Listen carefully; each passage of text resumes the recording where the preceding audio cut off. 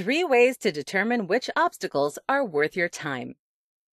Obstacles are a great way to challenge yourself and grow as a person. Even though they can be stressful at times, obstacles really are essential for growing and thriving as a human being. Still, not all obstacles are worth our time. For example, some are literally impossible to overcome, while others simply aren't worth it. How do you determine which obstacles are worth your time, though?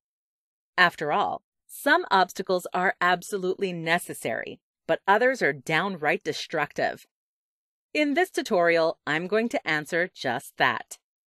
Let's take a look at three ways to determine which obstacles are worth your time. 1. Look at the facts. Whenever an obstacle comes your way, the first thing you should do is look at the facts. This will quickly tell you whether an obstacle is worth your time. The facts include any relevant information that is true and not related to your emotions. For example, legal implications, requirements, or hard statistics all include facts of the obstacle. Take, for instance, that the obstacle in front of you is getting your degree. The facts related to this obstacle include financial requirements, class requirements, etc. Consider all of these facts to determine whether or not getting your degree is worth it. In the instance of your degree, the obstacle will likely be worth it. There are instances when you will find that not to be the case, though. For example, joining a cult may not be worth it if it involves giving up your financial independence. 2. Consider your emotions. In addition to the facts, consider your emotions. Though you need to keep your emotions and the facts separate, you certainly shouldn't ignore it either. Your emotions play a heavy role in your life. Ignoring them will likely cause you to make the wrong decision or pursue an obstacle that's not worth it. For example, let's say that your partner has taken a job across the country. Your options are to move with them, break up, or stay in a long distance relationship. In this obstacle, it's important to evaluate how you feel about every option. For many people, moving or being in a long distance relationship is not emotionally worth it.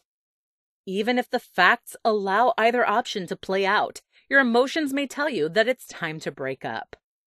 Listen to your emotions to see if things are emotionally worth your time. 3. Look for alternatives. Finally, the third way to determine if an obstacle is worth it is to look for alternatives. In other words, is there a simpler solution than the one you're pursuing? If so, definitely go with the simpler solution if it accomplishes the same task. For example, let's say you want to have a higher income. You come to the conclusion that the only way to get a higher income is to get a better job, but you don't have any degree or experience. Like most people, you assume you need to get a college degree, but you actually aren't interested in going to college in and of itself the obstacle may seem surmountable. Instead, you should probably look at trade school because it accomplishes the same task, but it isn't as demanding as a four year degree.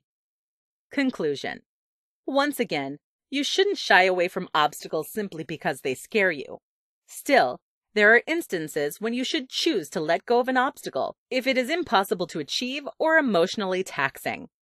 Considering the facts, your emotions, and alternative solutions is the best way to determine if an obstacle is worth your time. Don't be afraid to let go if the obstacle isn't worth it. For more free educational content, visit learnforfree.biz. Content produced and distributed by AllSuperInfo.